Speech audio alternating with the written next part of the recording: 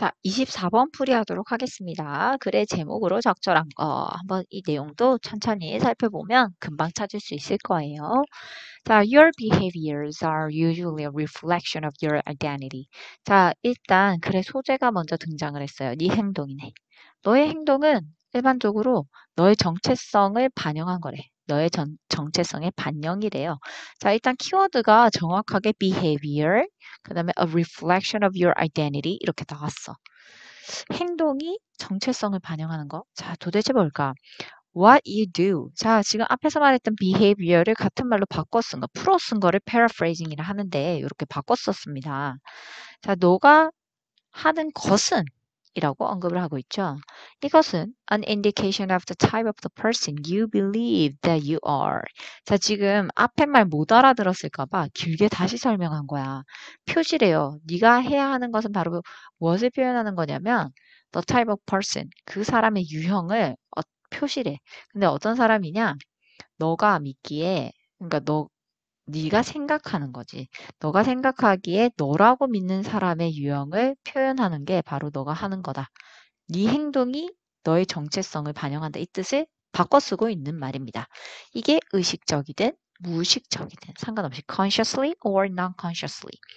그래서 연구한 자료가 다음과 같이 보여줬어요. 만약에 a person believes in a particular aspect of their identity. 그들의 정체성의 특정 측면을 어떤 사람이 이제 믿는다고 생각을 해봅시다. 그럴 경우 they are more likely to act according to the belief. 그 사람이 결과는 이렇게 나온다는 거죠. 사실 주제는 얘들아 이렇게 찾으면 금방 나옵니다. however 없잖아 뒤에. 읽어봐. Similarly doing 뭐 blah blah blah you are. 자 이렇게 읽고 사실 답은 밑에 중간에 사실 변경되는 경우가 있어서 마지막까지는 좀 읽어주세요. 마지막 문장에 You are simply acting like the type of the person you already believe yourself to be. 너가 되고 싶은 사람처럼 행동해라는 거잖아. 그지? 자, 그렇다면 행동이 너의 정체성의 일부를 반영하고 있다. 정체성을 반영하고 있다. 답은 뭐가 되겠니?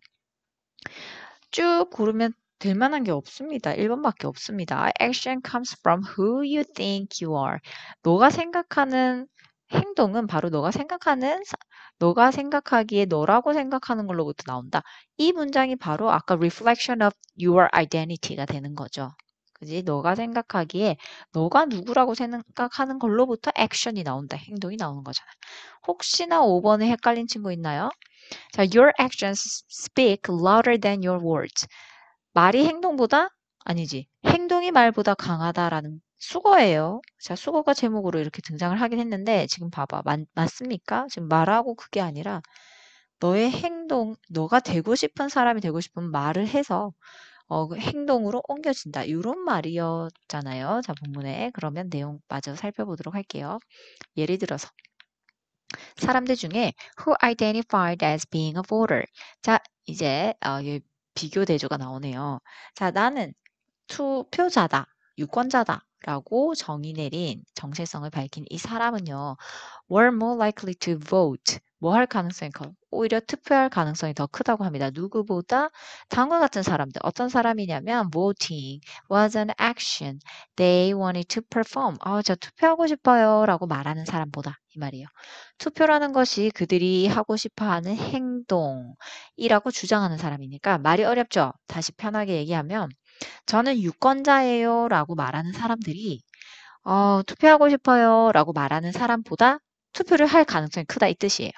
이해했죠? 자, 비슷하게도 사람들 중에서 who accept exercise as part of their identity. 그들의 정체성의 일부로서 운동을 받아들인 이 사람은 doesn't have to convince. 설득할 필요가 없대요. 그들 스스로를 train, 훈련하는 한마디로 더 이제 운동을 더 해야 하는 이유가 없다는 거죠. 왜냐면 하니까. doing the right thing. 자, 옳은 것을 하는 것 자체는 굉장히 쉽습니다. 결국에는요. when your behavior and your identity perfectly perfectly match. 너의 행동과 identity는 어, 떻게 한다? 정확하게 매치가 될 때 you are no longer pursuing behavior change. 더 이상의 행동의 변화는 일어나지 않을 겁니다. 그러니까 행동 수정이 없어도 어, 말 그대로 행동의 변화를 추구할 필요가 없다는 거죠. 추구하지 않아도 된다는 거죠. 왜냐하면 너의 정체성과 행동이 이제 완벽하게 일치하니까. 그래서 You are simply acting like 너는 아마도 단순하게 행동할 거라고 하네요. 어, the type of the person 그 사람의 어떤 유형 어떤 사람이냐면 you already believe yourself to be 너가 되고 싶어하는 사람의 유형을 이미 행동으로 옮기고 있다는 거죠. 멋집니다. 자, 그래서 이 글의 주제는 행동은 너의 정체성의 반영을 표현한다. 이 내용이 되겠습니다.